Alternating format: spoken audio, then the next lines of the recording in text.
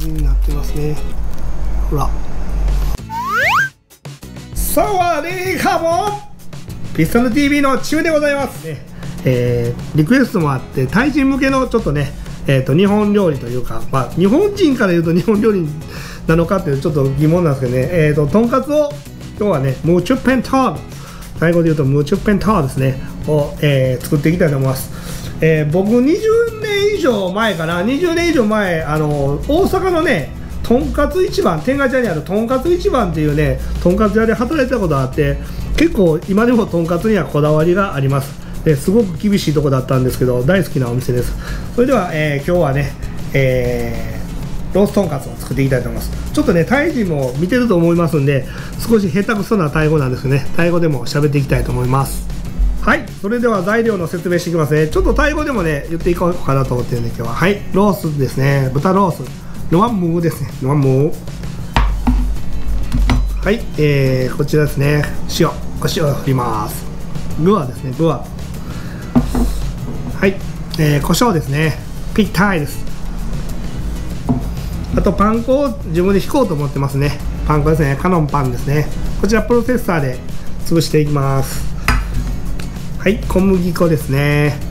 ペンサリーですペンサリー。はい卵ですね。バッター液を作るんで卵を使います。はいですね。えー、っと付け合わせのキャベツですね。ガランピーですね。はいあとはえっ、とポン酢。ポン酢をねえっ、とつけて食べようと思ってます。で最後はポン酢かな。それとも、えー、ソースピオーかな？はい。え、ー、とタイ人も大好きなわさびです。これはもうわさびはタイ人もわさびって言いますね。でキットカットのわさび味とかタイ人お土産で持っていったら大喜びするんですね。はい。え、ー、とあと大根おろしを作りますんでね。大根おろし。えっ、ー、とホワチャイターですね。はい。こちらが材料になります。それでは調理の方を始めていきます。はい。それでは生パン粉を作っていきます。はい。これねちぎって。まあ適当に。ね。ありますね。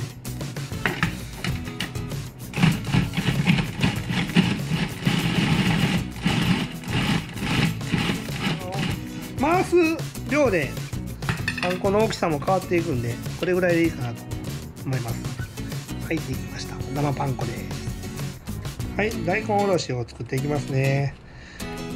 ね大根おろしって何て言うんだろう大根分からへんまあ大臣見たら分かるかな。みんな。これですね。はい。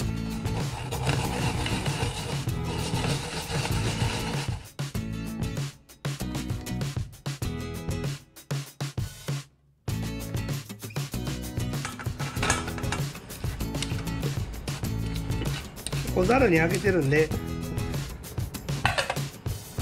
少しね水気を、うん、切って使います。はい大根おろしができました。なもんね。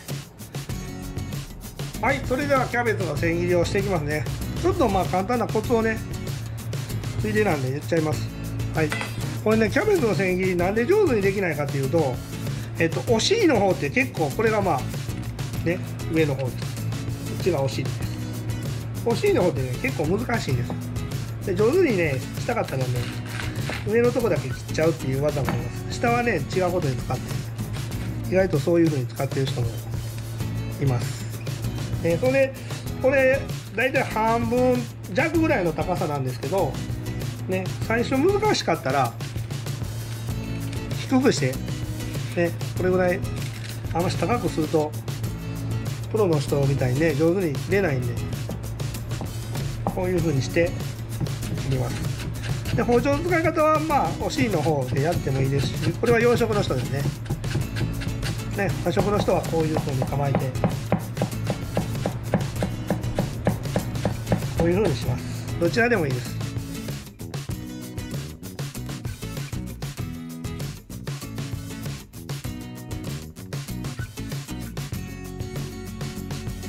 で水にさしますね。チェーナンはい。これでキャベツの千切り。できました。はいそれでは豚肉にね胡椒塩コショウしていきます。えロワンもえっ、ー、とこれはタイではねあの皮がついてるんですけどこれは皮はついてません。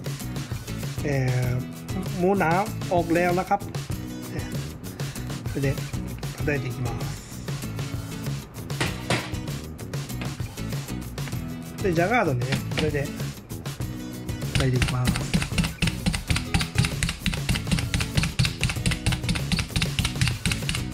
裏表ですね。はい。これでジャガードで穴は開いたんですけど少し広げたいのでこれですね。クロックピンの棒でちょっと叩きます。で、えっ、ー、ととんかつはねこれちょっとあの、縮むんでねここに1個入れていきます。これで防止されるんで。縮みをね1個入れてきますはい。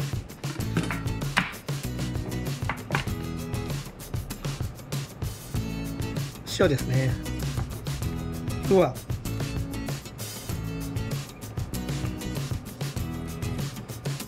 胡椒です。ッタイズ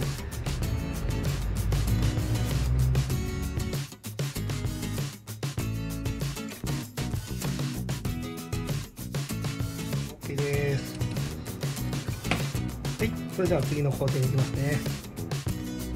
はいそれではバッター液を作っていきますね。はい卵を2つ割ります。はいンフカップ。卵はしっかり潰します。で小麦粉ですね。小麦粉これどうかな？2分の1カップぐらいかな。まだ牛乳入れないです。さっき卵と小麦粉で混ぜちゃいます。うん OK ですね。で牛乳を入れます。牛乳で牛乳 100cc ぐらいですね。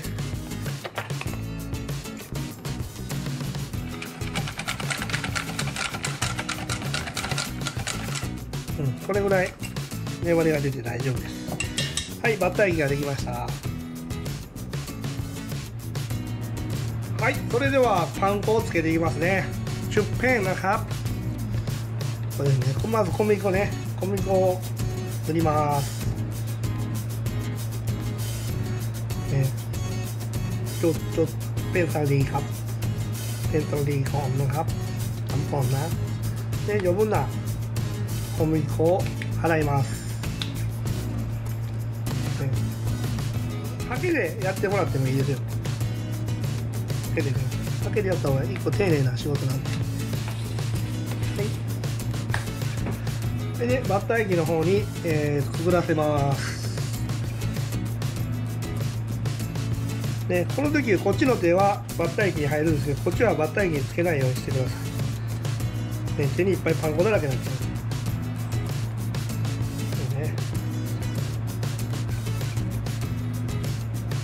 余分な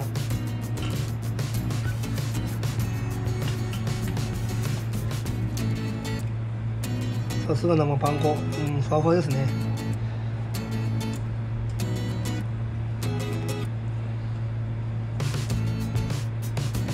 ね軽く軽くですよ。軽く押さえます。しっかりパン粉がつかないとダメなんで。ทำ เบาทำเบาๆเบาๆนะครับเบาๆนะฮะโอเคちょっとこの間が気になるな OK 結構分厚いんで難しいと思います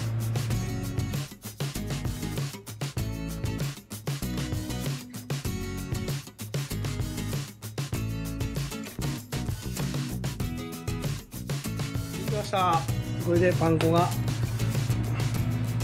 つきました10ペンเสร็จแล้วครับはいそれでは揚げていきますね最初油の温度は160度ぐらいน้ำมันประมาณร้อยหกสิบครับน้ำมันอุ่นแล้วนะครับจะ入れていきま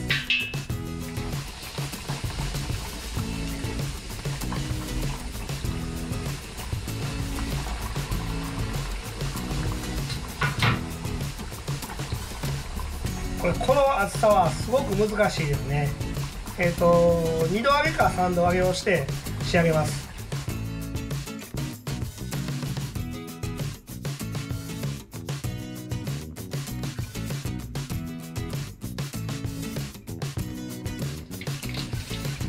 はいこれでちょっとね1回揚げます。まだ70%ぐらいしか火入ってないんで。ここにこういうふうに。縦にしてですね縦にしたら油がきれいに落ちるんで広げていきますでこのままですね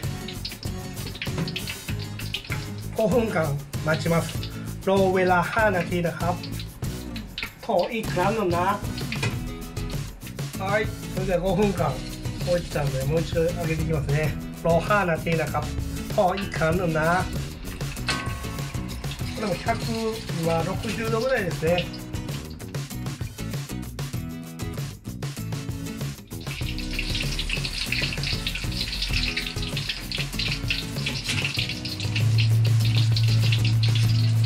これじゃ80%までまだ入ってないぐらいかな。このまままた5分間立てておきます。はいじゃあ3回目。揚げていきますね分厚いのでねこれ3回揚げますあのหมูนานานะนานาพ่อสามครั้งสองครั้งสามครั้งครับถ้าหมูเบนเบนนะพ่อหนึ่งครั้งพอดีนะครับพอดีนะโอเคいい感じですねできました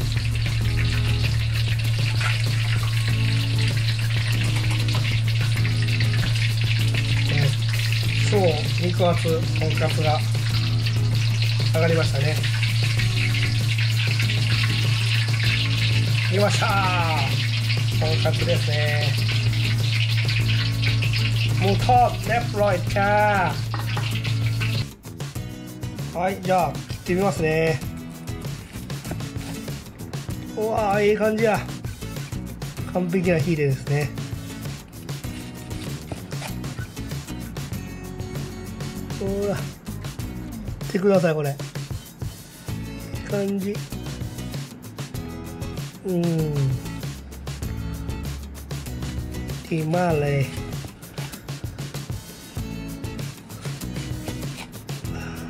いいね成功ですそれでは盛り付けていきますはいできましたもうちょっぺんとですね レプロイチャー、ね、中も見てみましょうか完璧に感じになってますねほらああいいね感じですそれでは食べていきましょうทานข้าวนะครับちょっとね今日はわさびをのしてね上に、ね、結構ロースなんで油が多いから わさびが合うんですよねこれ。うん。わさびと塩ですね。岩塩です。ぐらちょっとな。ちょっとだけ。つけていきます。うん。うん。おいしい。うん。おいしい。うん。でもう一個ね。大根おろし。そうほんとねこれを入れます。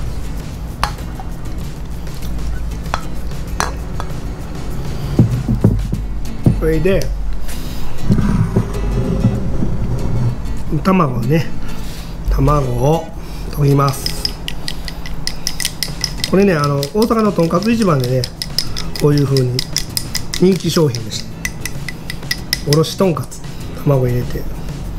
えこれで食べます。これめっちゃ美味しいねこれで食べたら。ね。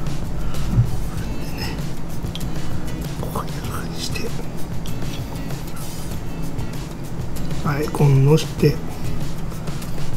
うん。